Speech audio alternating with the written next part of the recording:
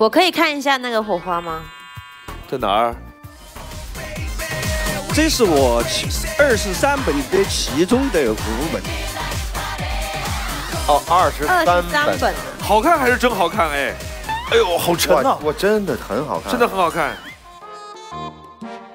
真的是很漂亮，破音。但是对于我来说，就是哇，就是一些废纸的感觉。我真的很好看。真的漂亮哎，好漂亮。卖给我吧。他不卖，有他只送，他送给你。真的。我这一本就是辛亥革命的专题集，辛亥革命的这一本呃辛亥革命专题集，它就是一个辛亥革命史。问一下这爸爸，您这个这么多火花在家里边是怎么收藏呢？都是就这么装成定制车的，就放在屋子里。放在哎。但是如果失火了呢？哎呦我你，你盼人点好的行不行？不是你这这你这 火柴还是放在冰箱里吧？你知道全国全中国有跟您一样爱好的人大概有多少？大概有四十人。哦，四十四十个人。对，这么我觉得你得数一数二了。他估计你你在里边估计是前三前五应该有你吧？全世界走到我这个程度的，我还没听说过。这本戒指是肯定是世界第一，谁玩专题，都没有超过你的。任何一个专题都不能超过目前。哎呀，你开个价，关键是我爸就不无价卖呀。无价。叔叔，我觉得这个东西其实既然你都收集这么多，你不如呢把它变成一个赚钱的工具，开一个火花博物馆，卖门票挣钱。啊。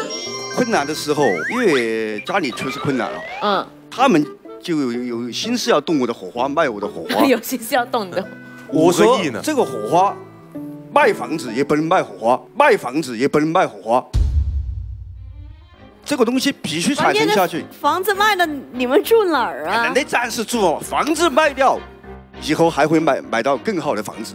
哪你但是哪里来的火花卖钱掉了，你这一辈子你这个火花你就收不回来了。那你把房子卖了，你以后拿什么去买呢？你跟我说，慢慢找挣钱啊！拿什么挣钱？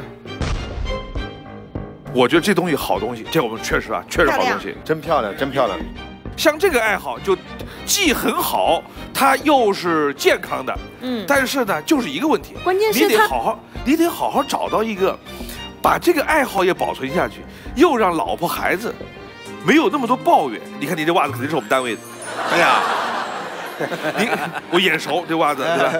你看你你要能让老婆也不抱怨，闺女也过得幸福，那这个就太好了，我跟你说，嗯，真的。这个观念啊，也是对的，但是我做不到。嗨，国外的火花出来了，我宁愿就今天不吃饭，但是我都要把那枚火花拿下。对，你可以不吃饭，你你想过老婆孩子怎么能？他们也是简单一点嘛，以后条件好了，他就以后要怎么条件好，怎么条件好。你现在没有转机啊，慢来嘛，没有什么坎，在我的观点里慢慢就没有什么坎。饿死了。我不是，哎哎哎哎，大哥，花了四百多万，四百多万还是近十十年。以前就不说了，以前。